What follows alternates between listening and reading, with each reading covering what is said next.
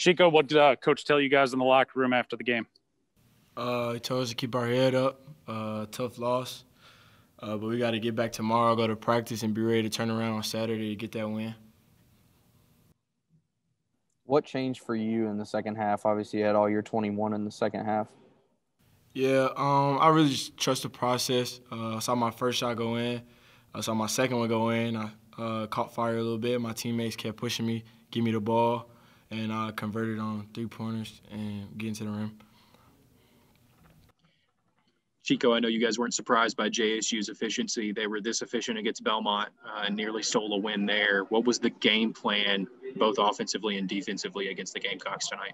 Uh, defensively is always uh, defend, rebound, and run. We got to defend first, box out with, with, all five, and then run in transition.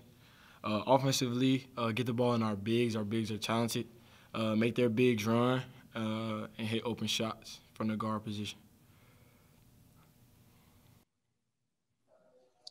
what is the mentality of you guys right now uh, in the locker room? You're not used to struggles like this. Uh, is it is is there frustration right now, or are you guys still still hanging in?